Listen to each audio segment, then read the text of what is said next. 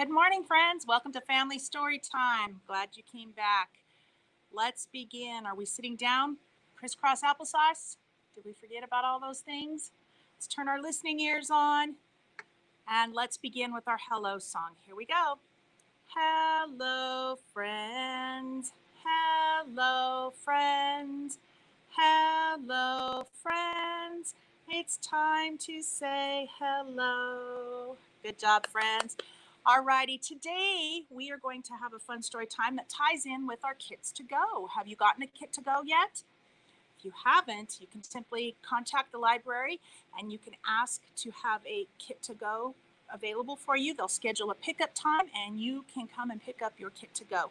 We have them for um, all ages actually. And this week's kit to go for the younger age group uh, is uh, a fairy wand. So you can make your own fairy wand. And this week at the Rawlings location, we have an extra special uh, bag that's within it from thank you to Southeastern Colorado Area Health Education Center.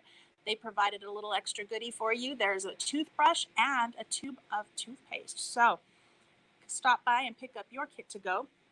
And with that, what fairy carries the wand that is the protector of teeth. So we're going to do Tooth Fairy and Tooth Story Time today. And I wanted to start off with a little extra special something that we haven't done. So we have Hoopla, a service that we provide that you can um, watch videos, you can read books, you can listen to books. And so today's story we are going to have you watch is called How to Catch a Fairy. Enjoy.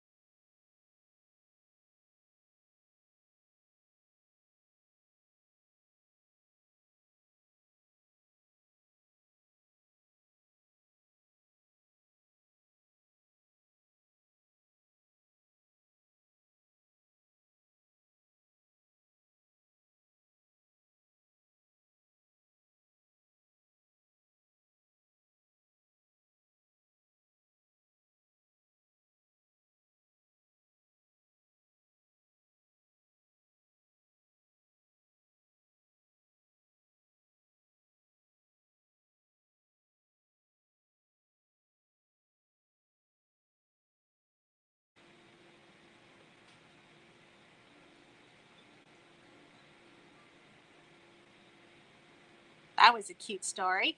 Are you guys going to try to catch the tooth fairy? I don't know. I was always told you shouldn't try to catch the tooth fairy because then they won't come and visit you.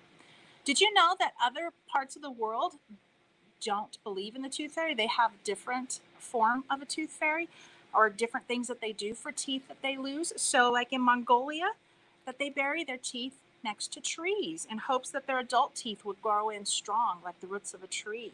Or that in Asia, if they lose a tooth from the top jaw, they throw it up on the roof. If they lose a tooth from the bottom jaw, they throw it down to the floor in hopes that when that new adult tooth grows in, that it will grow in that direction. And then in Spain, Mexico, Peru, and Chile, they have their tooth fairy is called El Raton Perez.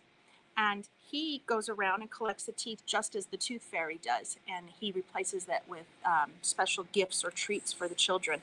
One of my favorite books is called The Tooth Fairy Meets El Raton Perez. So that one is on my book list that I also listed um, in the description. So you can look at that and find some other fun tooth uh, and stories and fairy time stories. Alrighty, so I want to share my first story with you today, and it's called Alan's Big Scary Teeth. I'd like to thank Candlewick for allowing me to read this, and this is by Jarvis.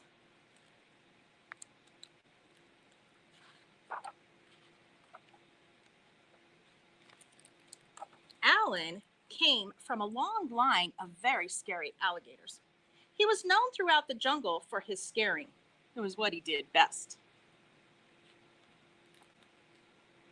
Alan would start each day polishing his scales, sharpening his nails, and brushing each of his big scary teeth for at least 10 minutes at a time. And after practicing his frightening faces in the mirror, he'd sneak into the jungle for his morning round of scaring.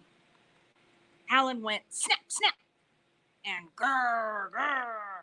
He said things like, I'm big, scary Alan. Fear my razor sharp teeth.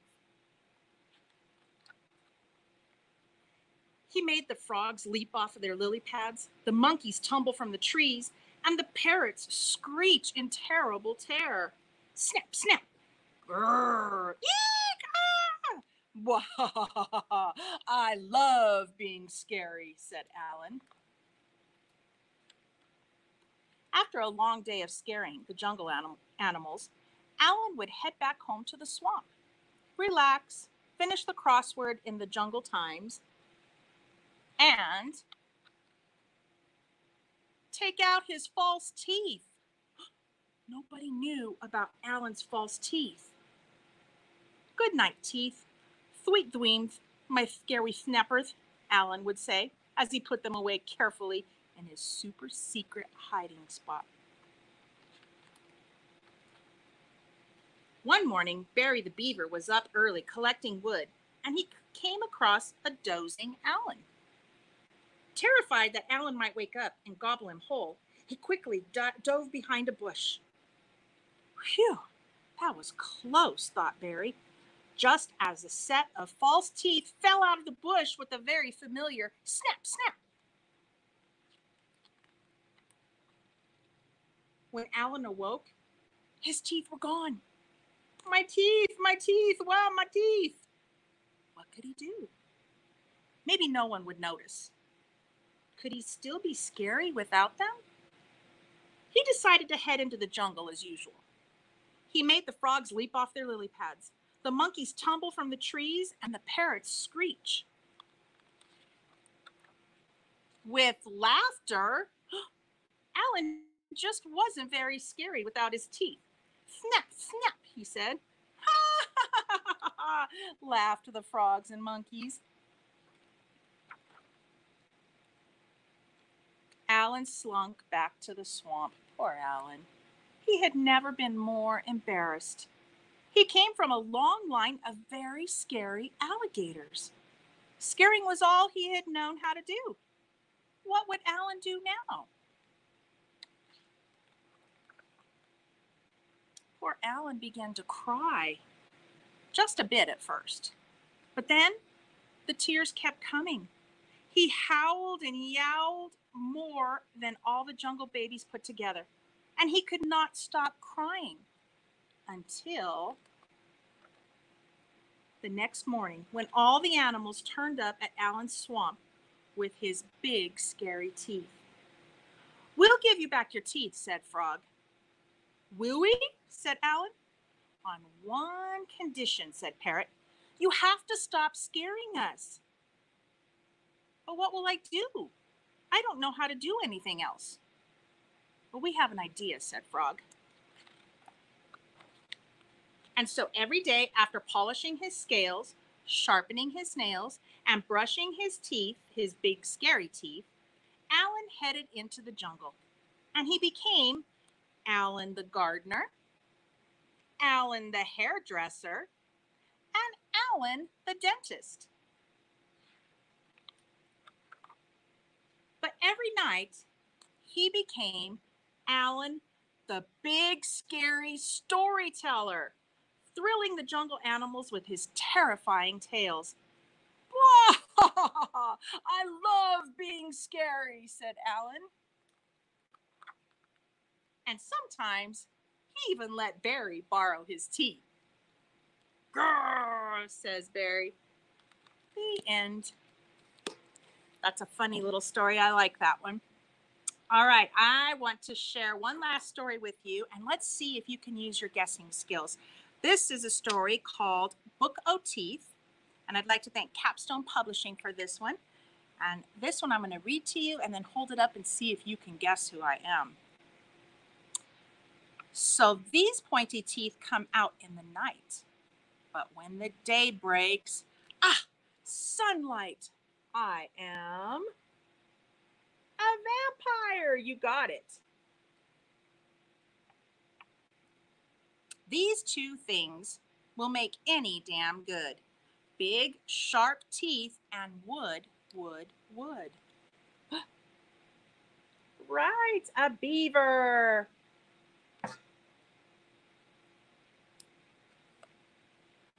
This wolfish grin shines bright in moonlight.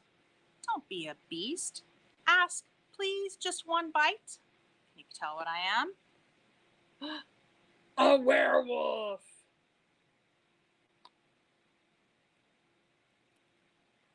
They click and clack and chatter like bone.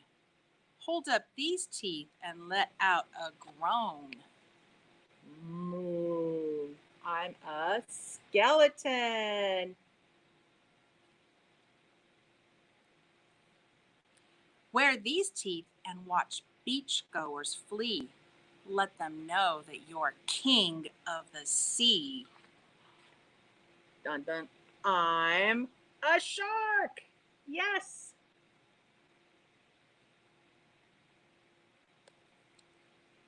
This monster mouth doesn't fuss or complain. It simply drools and says only brains. Right, a zombie. Very good. Looks like he needs to go to the dentist, doesn't he?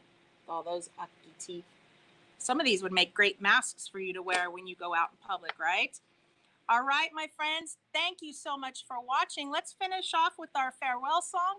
And here we go. Goodbye, friends.